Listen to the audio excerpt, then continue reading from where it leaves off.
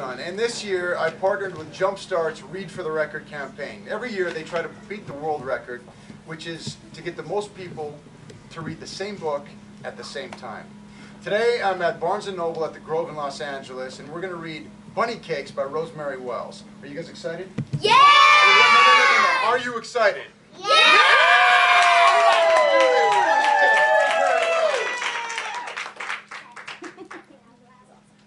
All right, good. Okay. What we're quickly gonna do is we're just gonna walk right there by that tree, and then we're gonna have it staged for you, where you'll actually go through reading the book. Okay, folks. Okay. Okay, Hi, Leah!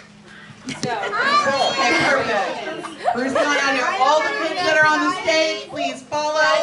Please clear a path over here right now.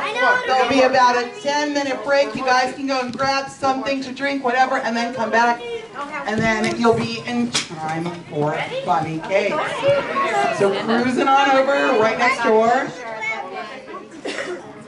Thank you for your patience so much as we shift this for Meredith Vieira. And then we'll be back in business here. Just remember that this afternoon at 2 p.m. Gloria Bailey Ray will be here. Tomorrow at 2 p.m. Gene Simmons signs Me Incorporated. Monday night Dana Cowin is in conversation with Roy Choi.